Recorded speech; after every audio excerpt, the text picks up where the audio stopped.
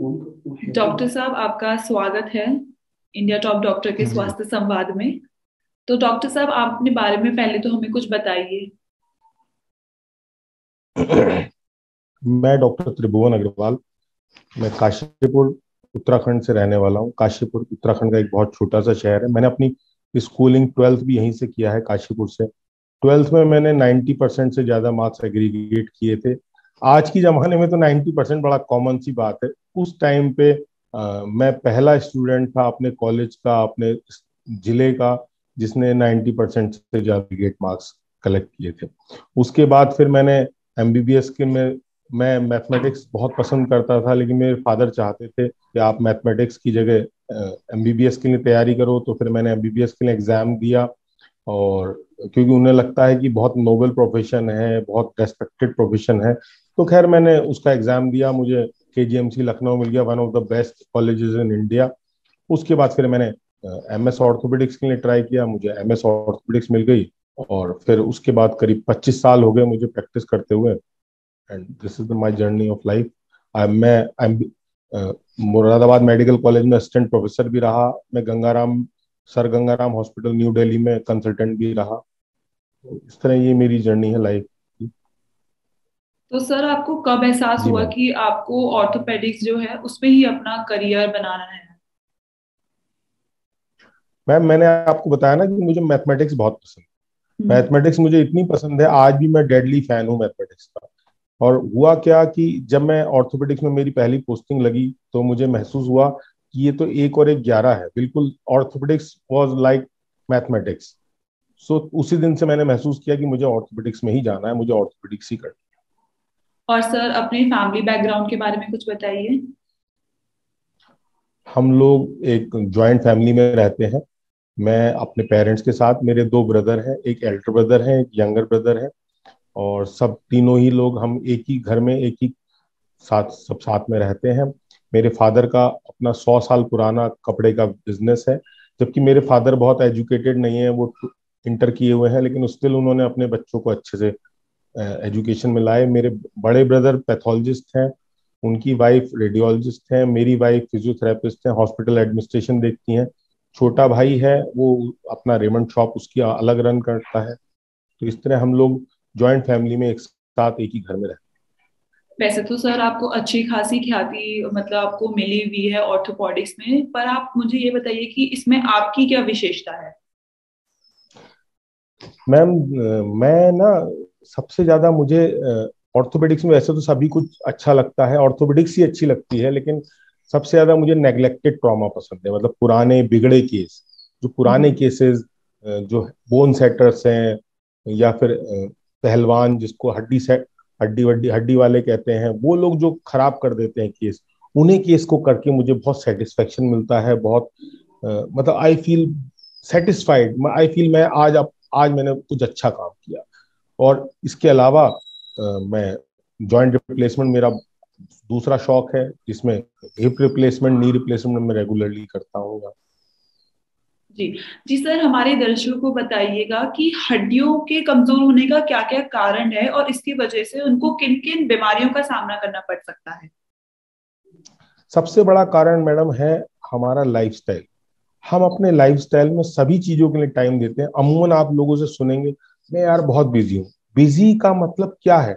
Busy मतलब priorities है। आप किस चीज़ को कितनी प्रायोरिटी देते हो?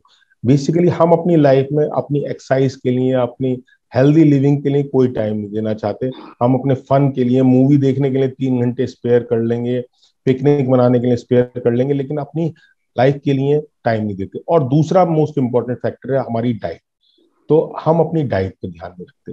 तो ये दो फैक्टर अगर आदमी ध्यान रखे, मेरा सिंपल फंडा है कि एक घंटा एक्सरसाइज करो, दिन में डेली अपने शरीर को दो और दो गिलास दूध, दो कटोरी दाल, दो कटोरी हरी सब्ज़ी, दो एग ये दिन भर में ज़रूर खाओ। इसके बाद अगर कुछ पेट में जगह बच जाए तो खाओ, चाहे अनहेल्दी खाओ हेल्दी खाओ दिस इज़ सफिशियंट अगर इतना डेली आप खाओगे तो मुझे नहीं लगता कि कोई ज़रूरत नहीं पड़ेगी। मैं अपने पेशेंट्स को यही सलाह देता हूँ और पेशेंट बहुत हेल्दी हेल्दी रहते जी सर सर जैसे हमने बहुत बार सुना है और बहुत बार देखा भी है कि जैसे जो वृद्ध होते हैं वो बाथरूम में गिर जाते हैं और उनके कूल्हे में फ्रैक्चर हो जाता है। तो इसका क्या कारण हो सकता है?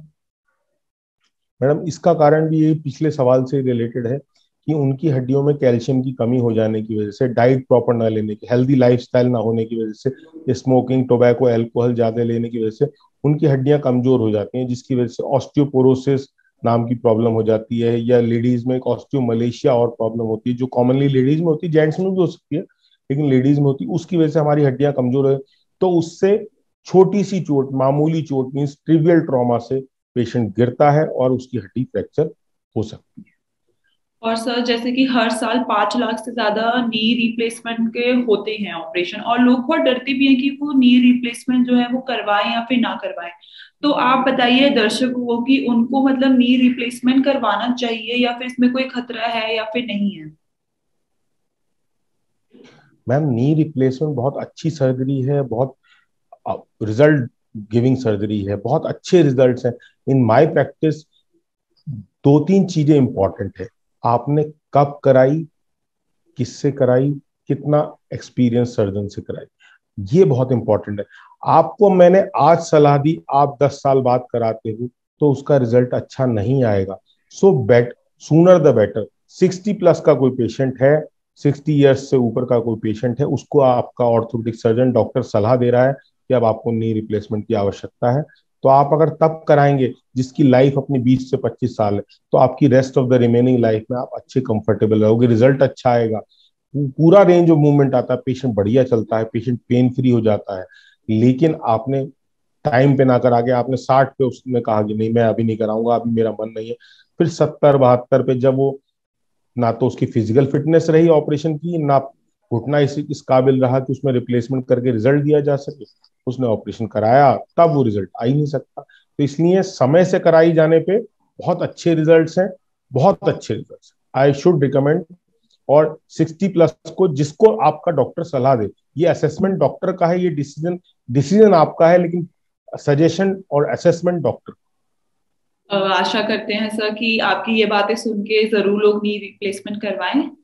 और सर हमारा लास्ट क्वेश्चन ये है कि जैसे कि कोरोना बढ़ता जा रहा है ओमिक्रॉन वेरिएंट भी आ चुका है, तीसरी लहर की भी संभावना है तो as a health care expert आपकी इसमें क्या राय है?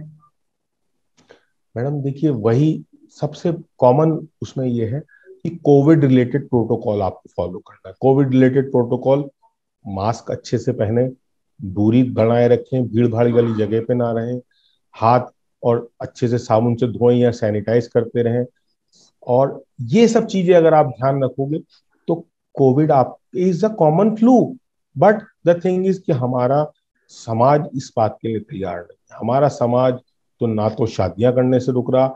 चलिए, शादियाँ करनी है, ज़रूरी है। भाई, दो साल हो गए।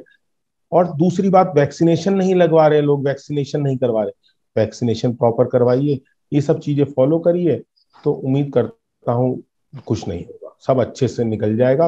लहर आएगी ज़रूर और जो लोग हाई हाई रिस्क केसेस हैं, जिन्हें डायबिटीज़ है, मोटापा है ब्लड प्रेशर है, वो लोग समय से ट्रीटमेंट ले लें, एकदम से अपने डॉक्टर को कंसल्ट करें, जहाँ उन्हें फीवर हो, जहाँ उन्हें कोई खांसी या ऐसे कोई भी सिम्टम हो अनरिलेटेड सिम्टम हो, तुरंत डॉक्टर को संपर्क करें और वैक्सीन ज़रूर लें। देखिए, उम्मीद करते हैं अच्छे रिज़ल्ट रहेंगे। ईश्वर ने चाहा सबका स्वास्थ्य अच्छा रहेगा। जी सर थैंक यू सर इतनी धन्य मतलब इतनी जानकारी देने के लिए आपका बहुत बहुत धन्यवाद। आपसे फिर मिलेंगे एक नए और अलग मुद्दे के साथ। और अगर आपको किसी को भी हमारे जो व्यूअर्स हैं, अगर उनको हड्डियों से संबंधित प्रॉब्लम है तो आप ज़रूर जाइए इंडिया टॉप डॉक्टर की वेबसाइट में और डॉक्टर अग्रवाल के लिए आप अपनी बुकिंग्स भी करवा सकते हैं। Thank you sir thank you ma'am thank you very much good day इसी के साथ मैं मानसी रावत आप सबसे लेती हूँ विदा। अगली बार फिर मिलेंगे एक नए किस्से और एक नए डॉक्टर के साथ। तब तक के लिए जुड़े रहे हमसे और हमारी वीडियोस के लिए इंडिया टॉप डॉक्टर के साथ।